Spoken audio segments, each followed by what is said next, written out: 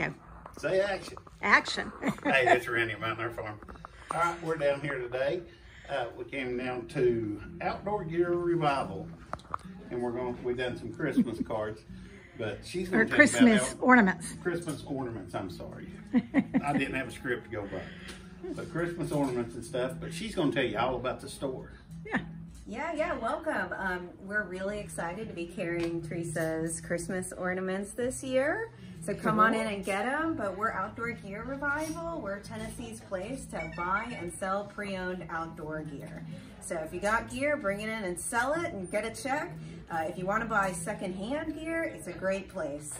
Okay, and what type of gear do you have? So we cater mostly to hikers, backpackers, uh, campers, anything from car campers to people backpacking in, uh, climbers, paddlers, and cyclists. Cool. Yeah.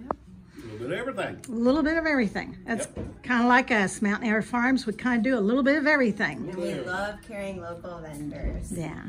And uh, we've known Alex and Michelle for over a year. Uh, super sweet people.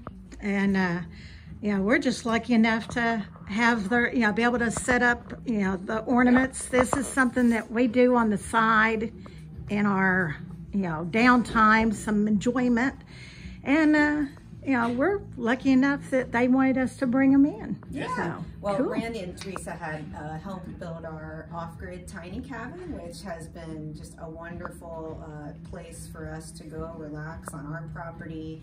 Um, we've even had friends that are interested in building them on their property as well. And so uh, we just think they do the best work around. It's always done right the first time. Yeah, and they were our first Tiny Build actual customer, so Yeah. So- Very, very so we always referred to you all anyway. Like you know, the the your first camp, you know, cabin is always the fun one. So okay, But Well- that's all we're doing today. Yeah. We've got these out here.